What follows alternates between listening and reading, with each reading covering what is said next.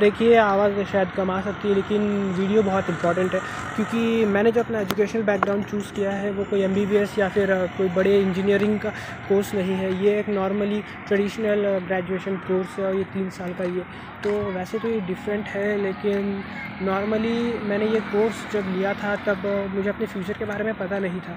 Still now I am not stable on my educational purpose because यहाँ पे बहुत ज़्यादा कन्फ्यूज़न भी होता है और इसी के साथ साथ काफ़ी सारी ऐसी बातें भी होती है जो हम लोगों को पता नहीं होती।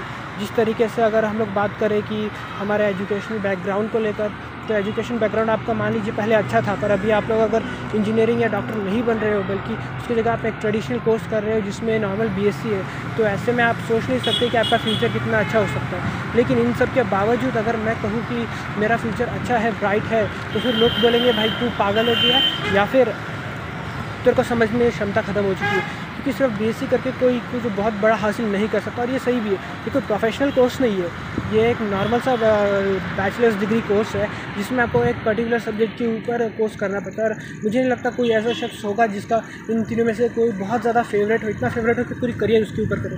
वैसे तो मेरे को भी इसी चीज़ के ऊपर करना था, लेकिन इसके अगर बैकग्राउंड की बात करें तो काफ़ी ज़्यादा डिफरेंट आ जाता है। क्योंकि अगर मैं कहता हूँ कि मेरे को डॉक्टर बनना था या फिर मेरे को इंजीनियर बनना था तो ये बैकग्राउंड थोड़ा अलग काम करता है। क्योंकि यहाँ पे आपको केमिस्ट्री फिजिक्स बायोलॉजी इसमें जू बॉटनी आती है तो यहाँ पे एक आपको पर्टिकुलर पर्सन को लेकर आप वीडियो बनाओगे, जो कि पूरी तरीके से अलग है। तो मैं तो एक ही चीज़ कहूँगा कि ऐसे में आप लोगों को जब पढ़ाई मिलती है तो ऐसे में पढ़ाई करना आप लोगों के लिए ज़रूरी है। तो एक ही चीज़ है और उसी के ऊपर आपको फोकस करना चाहिए। ऑल दो हम लोग कभी भी ये प्रिडिक्ट नहीं कर सकते, या फिर कभी ये नहीं कह सकते कि हमारा फ्यूचर बहुत अच्छा होने वाला है। क्योंकि फ्यूचर हमारा कितना अच्छा होता है और कितना बुरा होता है, ये तो फ्यूचर आने के बाद ही पता चलेगा। जैसे कि मैंने कहा, एक नॉर्मल कंडीशन में कभी भी कोई इंसान अगर ये कहता है कि मेरे को अपना फ्यूचर अच्छा करना है तो वो एक पर्टिकुलर पाथ को फॉलो करेगा। जैसे कि सर ने बताया था तो काफ़ी ध्यान से मैंने सुना और ये बहुत ज़्यादा इंपॉर्टेंट था तो ज़रूरत थी इस चीज़ की।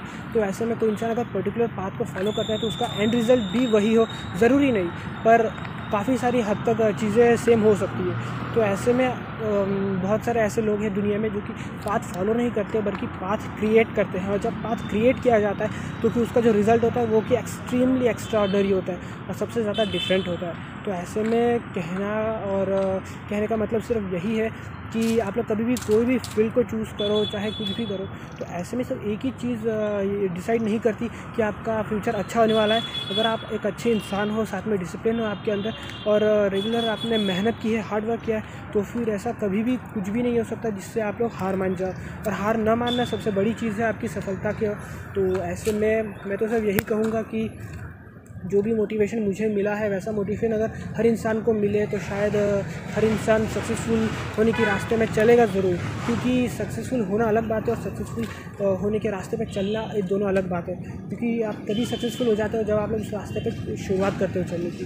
तो ये वीडियो आज तक यही पर था। मैं ख़त्म करता हूँ इस वीडियो को। काफ़ी देर हो चुकी है और अगर आपने ये वीडियो अब तक देखा तो थैंक यू सो मच और अगर आपको पसंद आया तो लाइक ज़रूर करना।